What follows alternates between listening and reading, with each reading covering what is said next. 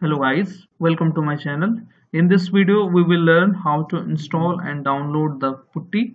So without wasting your time, let's get started. Open any browser which you usually use, okay? And on a search bar you need to type here download putty simply, okay?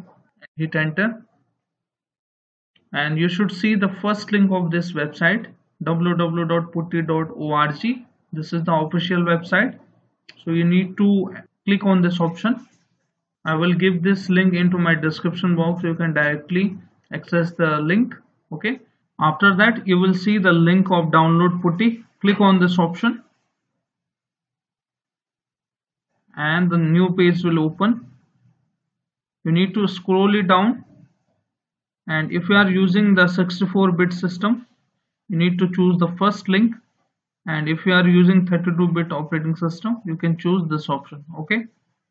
So I'm choosing 64-bit this is the first option. Click on this option. And 0.7 installer. This is the latest putty's version at the point of video. Okay click on this option. Now it's going to download it is almost 3.5 MB file so small file it is. Now it's done. So let me go to download option.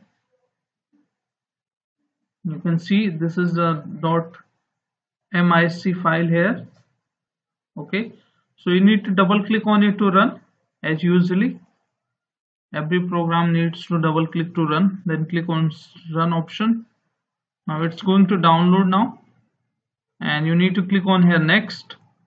If you want to change the program location you can change so. Okay. You can give it to other location. You can choose D drive also if you want. But I recommend you to leave it as default.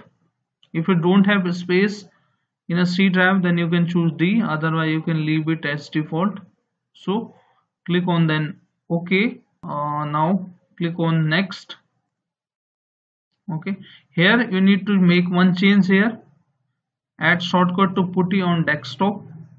So click on this option drop down and will be installed on local hard drive. Choose this option. If you want to make it as default so you can choose so. But i am recommending you to choose. Will be installed on local hard drive. Okay and then click on install option. Here we go. Click on yes option when the prompt opens and now installation is almost done. Okay now it is done. And click on finish option and let me open putty. Okay you can see here the putty app. Click on ok option. And now you need to enter here the ip address host ip address and then put and then click on open. And SSH serial other telnet. Okay. You can also choose the menu options here. So this is how you can install the putty's latest version on your windows 10 11 7 8 version. So hope this video is useful for you. If yes then hit like subscribe and share. Thank you. Thanks for watching